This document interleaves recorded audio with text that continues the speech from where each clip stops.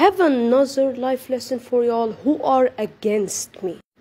So, all of my story is about two worlds separate. So just check it out and see my episodes. I won't say the whole thing right now in the same video I'm making right now. People make videos about crossovers like characters who are similar who appeared in other movies like a crossover like Rapunzel is Anna and Elsa's cousin. I agree with that. So just check the rest of my videos and you'll understand. And please don't spam. Do you think I'm crazy? Do I look like I care? Why do you disrespect Muslims? Please respect. I respect you. You should respect others like me too.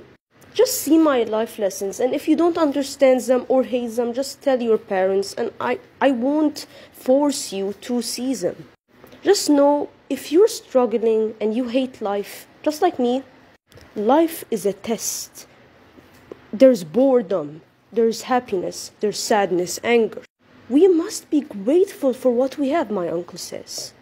Life is a test. Don't go on saying, I, if I'm straight, I hate myself. I have to, you know, I'm not gonna say that. I'm a Muslim, I do not say haram stuff.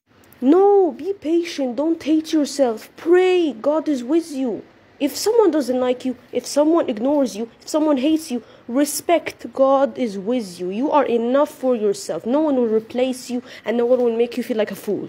You will never hate yourself. If you believe in yourself and God,